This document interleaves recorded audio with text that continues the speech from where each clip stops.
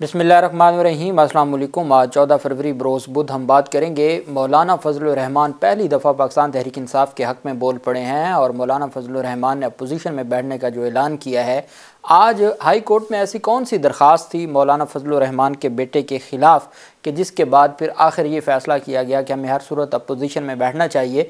और इमरान खान और पाकिस्तान तहरीक इंसाफ जिस धांधली की और जिस तरीके से नतज में रद्दबदल किया गया उसकी बात कह रहे थे, उस पर मौलाना फजलरहमान ने भी ना चाहते हुए मोहर तस्दीक सब्त कर दी है।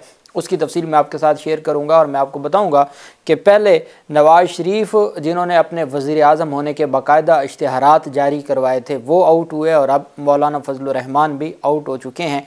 और जो हकूमत अभी बनी नहीं है, उस हकूमत को बनने से पहले ये सबसे बड़ा धचका है कि जो उस हकूमत के इतिहाद के सरबरा थे, आज उन्होंने ही उस हकूमत से ख़ुद को अलग कर लिया है। उसकी तफसील मैं आपके साथ शेयर करूँगा। इस्लामाबाद हाई कोर्ट में जो अहम पेशरफ सामने आई फजल रहमान के बेटे का जो हल्का था टांक उस हवाले से, वो भी अपनी जगह बहुत अहमियत की हामिल है। उसकी तफसील भी मैं आपके साथ शेयर करूँगा। और साथ में आपको बताऊँगा कि अकवा मुतहदा की जानब से इंतबात से मुतल जो तफसीत सामने आई हैं उसके ऊपर भी हम बात करेंगे। सबसे पहले तो मैं आपको बताता चलूँ कि डॉक्टर यासमीन राशिद, जो पाकिस्तान तहरीक इंसाफ के उम्मीदवार थी और नवाज़ शरीफ के मुकाबले में उन्होंने इंतबात में हिस्सा लिया और पहले वो इंतबात जीत चुकी थी और फिर उसके बाद इंतबात में जो नतज में रद्दबदल हुआ, फॉर्म फोटी फाइव और फॉर्म फोटी सेवन में, उस बुनियाद पर उनको हरा दिया गया। आज वो इंतबात जीतने के इंतबात में हिस्सा लेने के बाद और इंतबात के नतज के बाद पहली दफ़ा अदालत में आई और उन्होंने मीडिया से गैर रस्मी गुफ्तु की। डॉक्टर यासमीन राशिद ने कहा है कि नून लीग वालों से कहना चाहती हूँ कि कोई शर्म होती है, कोई हया होती है। इंसदाद दहशत गर्दी अदालत में पेशी के मौके पर उनका कहना था कि पहले आप लोगों ने अवाम का पैसा लूटा। अब आप मैंडेट लूटना चाहते हैं। अवाम ने अपना फ़ैसला सुना दिया। अब कौम के वोट की को, अब कौम के वोट को इज़्ज़त दो। उन्होंने कहा कि इमरान खान के नाम पर वोट लेने वालों को ख़बरदार करती हूँ। अगर वोट बेचा तो कौम आपको मुआफ़ नहीं करेगी। जुल्म के ख़िलाफ़ डर के माहौल में जिस तरह आवाम ने वोट दिया, इस पर कौम की मशकूर हूँ। बानी पी टी आई की आवाज़ पर आप सबने बताया कि हम ज़िंदा कौम हैं। डॉक्टर यासमीन राशिद का कहना था कि हमसे बल्ले का निशान छीना गया। कंपेन नहीं करने दी गई। पीटीआई का रास्ता बुरी तरह से रोका गया।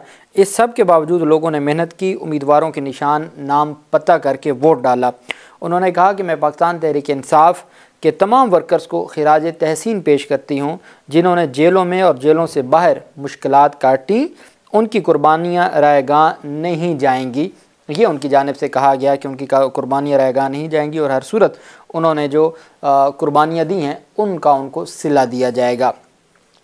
वहीं पे अकवा मुतहदा की जानब से जो बहुत अहम स्टेटमेंट सामने आई है और उन्होंने बाकायदा तौर पर इंक्वायरी इन्वेस्टिगेशन का मुतालबा कर दिया है। इंतबात से मुतल अकवा मुतहदा के सेक्रटरी जनरल ने पाकिस्तान में हुकाम और सियासी रहनुमाओं पर ज़ोर दिया है कि वो इंतबात के बाद की सूरत हाल को जल्द अज जल्द पुरमन अंदाज और कानूनी तरीक़ों से हल करें। अकवा मुतहदा के हेड क्वार्टर में प्रेस ब्रीफिंग के दौरान सेक्रटरी जनरल के तर्जमान ने पाकिस्तान में जनरल इलेक्शन के बाद धांधलियों के इल्ज़ाम और आज़ादी इजहार राय के हवाले से पूछे गए सवालों के जवाब दिए। तर्जमान ने कहा कि अकवा मुतहदा के सरबरा पाकिस्तान में इलेक्शन के बाद पैदा होने वाली सूरत हाल पर हुकाम हुकाम पर ऐसे किसी भी इकदाम से गुरेज करने पर ज़ोर देते हैं जो तनाव को बढ़ाया या भड़का सकते हैं। तर्जमान ने कहा कि जो सेक्रटरी जनरल पाकिस्तान की सूरत हाल पर गहरी नज़र रखे हुए हैं और हुकाम समेत सियासी जमातों से पुरमन रहने और पुरतशद जो कार्रवाइयाँ हैं, उनको मुस्रद करने की अपील करते हैं।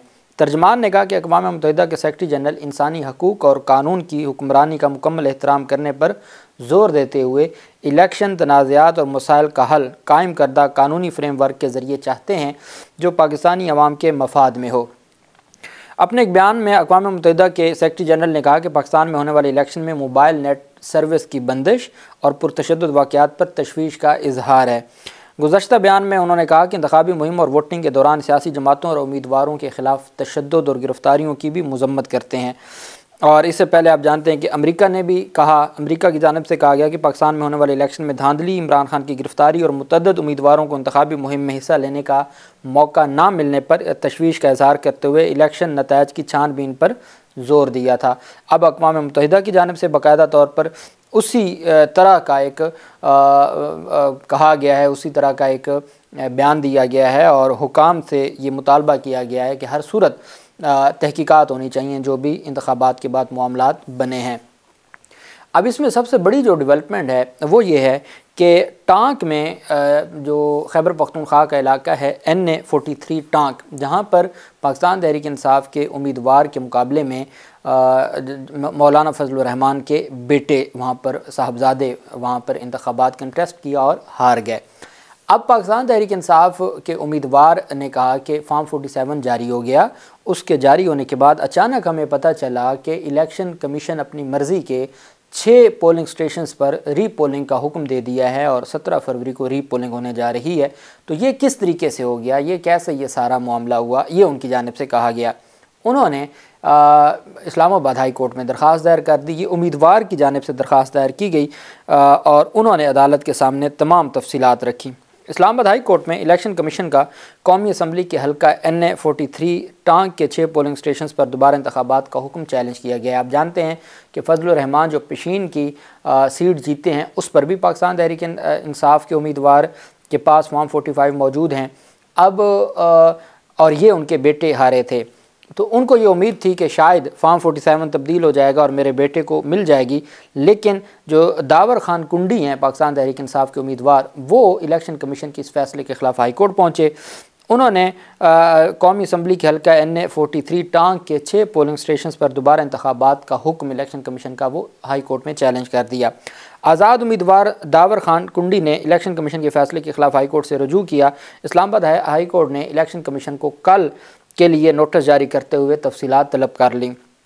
अब मुझे इस बात की नहीं समझ आई कि जब ये खैबर पख्तूनख्वा का मामला है तो इसको इलेक्शन कमीशन के फ़ैसले को पिशावर हाई कोर्ट में क्यों नहीं चैलेंज किया गया और इस्लामाबाद हाई कोर्ट में क्यों चैलेंज किया गया है? चूँकि ये खैबर पख्तूनख्वा की हद तक था। जो पहला बल्ले के निशान से मुतलक था, उसमें तो चलें, ये बात आती थी कि पूरे पाकिस्तान की बात है तो वो एक सूबे की जो हाई कोर्ट है, वो कैसे फ़ैसला दे सकती है? जो गलत है, हाई कोर्ट 199 में उनके पास तमाम अख्तियार हैं, लेकिन फिर भी, लेकिन यहाँ तो मामला ही सूबे के एक हलके में इंतबात से मुतल था।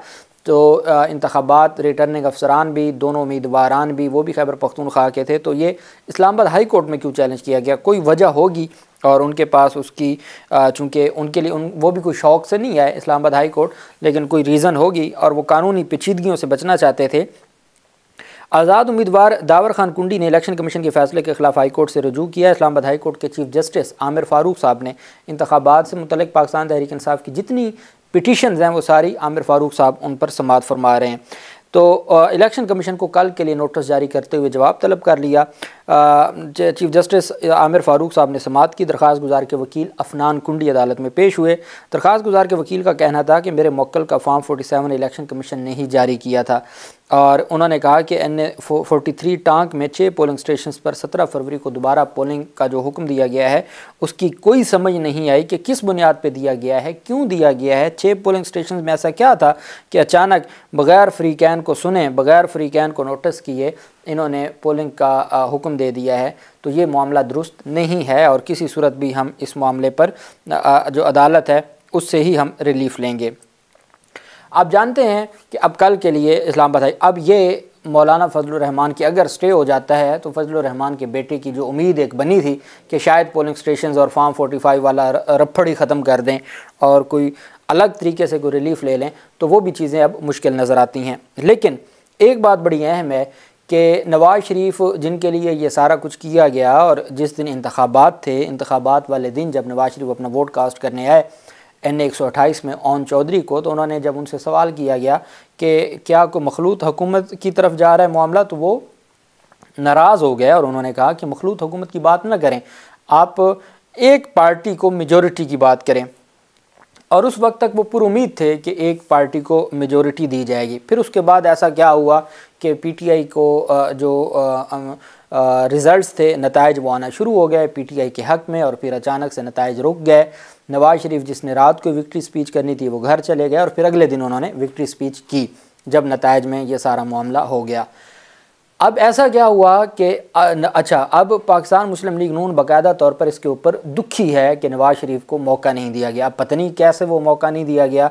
मेरे ख्याल में तो फार्म 45 अगर आप डॉक्टर यासमीन राशिद के हल्के का ही देख लें, आप पीटीआई के फार्म 45 ना देखें, आप टीएलपी के जमात इस्लामी के या आज़ाद उम्मीदवार के इश्तियाक चौधरी के उनके देख लें तो चीज़ें नज़र आ जाती हैं कि डॉक्टर यासमीन राशिद जीत चुकी थी। बहरहाल, जो भी मामला था तो जिसके लिए ये सारा कुछ बनाया गया था, जिस नवाज़ शरीफ के लिए नहली के फैसले छः छः साल पुराने केसेस को और फैसलों को, नई दरख्वास्तों में ख़त्म कर दिया गया और आइन में आर्टिकल बासठ तिरसठ को प्रैक्टिकली ख़त्म कर दिया गया और ये फरमाया गया कि ये सिर्फ़ होगा जो वोटर्स हैं, उनके लिए एक उनके लिए एक एक प्रिंसिपल के तौर पर कि वो ये देखेंगे कि जिसको हम वोट कर रहे हैं क्या वो सादक और अमीन है या नहीं है। बाकी उसकी प्रैक्टिकली जो थी वो ख़त्म कर दी गई। अब फजलरहमान ने भी अपने आप को अलग कर लिया फजलरहमान ने इंतबी नतज को मुस्तरद करते हुए नवाज़ शरीफ को भी अपोजिशन बेंचेस पर बैठने का आ, की दावत दे दी है और उन्होंने ये तस्लीम कर लिया है कि मुस्लिम लीग नून भी बेसिकली अपोजिशन में ही बैठे चूँकि उनकी हुकूमत या मैंडेट नहीं बनता। उन्होंने कहा कि जी जे यू एफ़ की नज़र में पार्लियामेंट ने अपनी अहमियत खो दी है। लगता है फ़ैसले ऐवान में नहीं, मैदान में होंगे। इंतबी धांधली में दो हज़ार अठारह का भी रिकॉर्ड तोड़ दिया गया है। उनका कहना था, हम इलेक्शन कमीशन के शफाफ, इलेक्शन के बयान को मुस्तरद करते हैं। इलेक्शन कमीशन इस्टेबलिशमेंट के हाथों यरगमाल रहा। इस्लाम दुश्मन आलमी क़वतों के दबाव पर हमारी जीत को शिकस्त में बदला गया। हम अपने नज़रिए पर कोई समझौता नहीं करेंगे। अगर इलेक्शन शफाफ हुए हैं तो नौ मई का बयानिया ख़त्म हो गया है।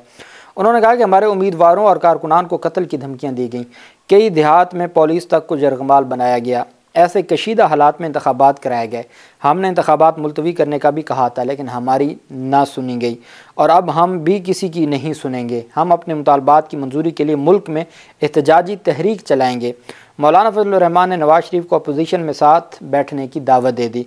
उन्होंने कहा कि हमारा पाकिस्तान तहरीक इंसाफ से जिस्मों का नहीं, दिमागों का झगड़ा है। अगर उनके दिमाग ठीक हो जाएँ तो सुलह हो सकती है। अच्छा उन्होंने पहली दफ़ा पाकिस्तान तहरीक इंसाफ के हवाले से कुछ सॉफ्ट स्टेटमेंट दी है, नहीं तो वो हमेशा पाकिस्तान तहरीक इंसाफ के हवाले से बड़े सख्त जुमले बोलते हैं। फजल रहमान ने कहा कि हम ऐवान में अपनी हैसियत के मुताबिक जाएँगे, ये मेरा नहीं, ज़ाती मामला नहीं, मजलिस अमला का है। उन्होंने कहा कि हम किसी पार्टी के साथ इतिहाद नहीं करेंगे, हम पीपल्स पार्टी या नून लीग किसी के ताबेदार नहीं हैं। किसी पार्टी के इतिहादी नहीं हैं, लेकिन J U I F parliament में अपना किरदार अदा करेगी और तहफ़ात के साथ अपोजिशन में बैठकर वो अपना किरदार अदा करेगी और जो अपोजिशन में बैठकर वो बैठेगी। अब आप देखें कि अगर शेर अफजल मरवत को अपोजिशन लीडर बना दिया जाए और उस पार्लियामेंट में फजल रहमान भी उनके साथ बैठे हों तो चीज़ें किस तरीके से देखी जाएँगी? दिलचस्प हो जाएँगी। बहरहाल, अब मुस्लिम लीग नून की हुकूमत साजी की कोशिशों को ये बड़ा झटका है। जो फजल रहमान की जानब से दिया गया है, चूँकि ये तो सब एक पेज पे थे। अब अगर फजल रहमान जैसा बंदा जो पिछली हुकूमत में इनका सरबराह था, वो हुकूमत से अलग हो गया है, वो नवाज़ शरीफ को भी कहता है कि मैंडेट तस्लीम करें और अपोजिशन में बैठें, और वो धांधली की भी बात कर रहा है, वो इलेक्शन के शाफ, साफ़ होने का ना, वो कहते हैं अगर इलेक्शन शफाफ हुए हैं तो फिर नौ मई का जो बयानी है वो ख़त्म हो गया है। चूँकि अवाम ने तो फिर उन्हीं को मैंडेट दिया, यहाँ तक भी फजल रहमान की जानब से बात की गई है। बहरहाल चीज़ें किस तरफ़ जाती हैं आने वाले वक्त मज़ीद जो है वो क्लियर होता जाएगा और पाकिस्तान की आवाम का जो मैंडेट है उसको तस्लीम किया जाएगा। अल्लाह पाक पाकिस्तान का हमें नासिर हो। बहुत शुक्रिया। अल्लाह हाफिज़। पाकिस्तान जिंदाबाद।